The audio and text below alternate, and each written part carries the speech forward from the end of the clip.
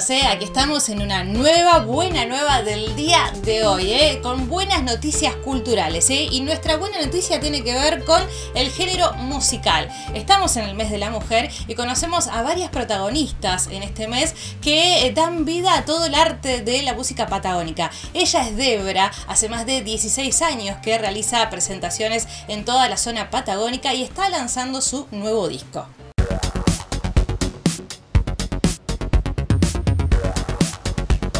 Desde el 2007 que doy clases en forma particular, desde el 2003 a nivel estatal, pero en forma particular y específicamente de canto, hace ya casi 14 años y tengo mi academia, Academia Debra, a la cual, bueno, se suman afortunadamente todos los años un montón de gente. Acabamos de, abrir la inscripción para el 2021 y tengo una vocación docente, lo digo eh, modestamente, pero lo digo de verdad porque yo creo que viene de arrastre de familia, tanto mi abuela fue profesora de música, mi mamá, mi tía docentes, gente que, familiares que mujeres muy dedicadas y con mucho amor a su labor. Vivo de la música, vivo de la música como cantante y como profesora cantando árabe en el año 2006, convocada por un grupo y la verdad que yo ¿qué nombre me pongo? Porque Débora, que es mi nombre original, yo Débora, era más como cantante de otro estilo, no sé, no tenía mucha onda y además no quería sumarle tampoco el apellido que no coincidía para nada con el mundo árabe,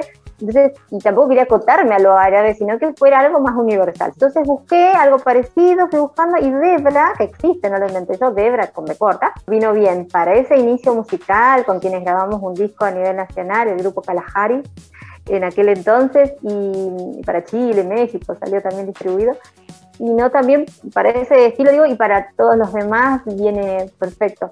Me he quedado arraigada a mi, ciudad de origen, yo nací, me crié acá, soy neuquina de pura cepa, de la barda, amante de la barda, y, bueno, eh, eh, junto al amor que tengo por Neuquén, aunque he estado en Buenos Aires, he estudiado allá y demás, yo siempre volví porque, y además que adoro Neuquén en sí, mi proyecto familiar se fundó acá y lo llevé adelante con total dedicación. Preferí como abocarme a mi familia, a mi proyecto y en simultáneo seguir con la enseñanza y seguir con mi carrera musical, ¿no? Y durante la pandemia, que no nos quedó otra a todas y a todos que, estar guardados, que aceptar esta situación que obviamente nos beneficiaba en cuanto a, los, a la cuestión sanitaria, fue cuando más estuvo presente la imagen de empezar a mostrar mis canciones, que hacía tiempo eh, venía escribiendo, tanto letra como música, pero eh, en este tiempo de, de encierro fue cuando más escribí también, se sumaron muchas más canciones.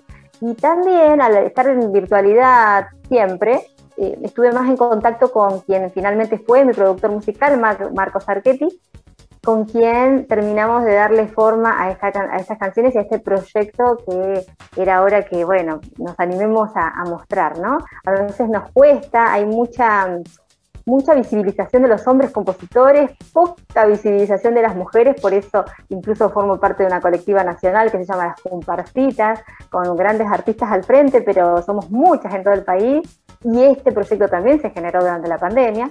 Bueno, y digo, de a poco vamos como ganando terreno y animándonos a estar más de cara al mundo con nuestras creaciones, con nuestras obras. Siempre he sido muy curiosa, es que quiero así como tocar todo, no, es que me, veo atraída por la música del mundo, por eso por ahí me he caracterizado por llevar adelante este camino de canciones del mundo, por ahí me conocen más por esto, ¿no? Y cantar en distintos idiomas, en distintos géneros.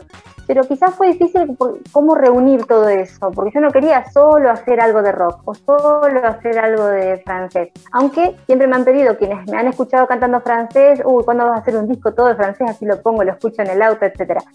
Pero gracias a Marcos Archetti no fue tan difícil porque él dijo, ¿por qué no mostrar en este disco, organizado en tres series, si se quiere, estas tres líneas principales, ¿no?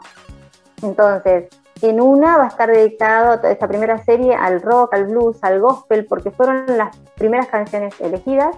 En la segunda serie va a estar dedicada a la música latinoamericana y la canción de autora, una especie de trova, si se quiere. Y la tercera está dedicada al folclore nacional argentino. El 19 de febrero pasado, de este año, tenés razón, eh, fue la, presentación oficial del primer single y ahora la idea es en marzo, fines de marzo, estar presentando el segundo tema, fines de abril el tercero y así siguiendo. Eh, en mayo ya va a ser un lanzamiento a nivel nacional, con un equipo ahí que se ha conformado, una vez que esté la primera serie, que sería el primer EP. Pero digo, una vez que ya se regularice todo, esperemos poder estar girando por el país mostrando este material.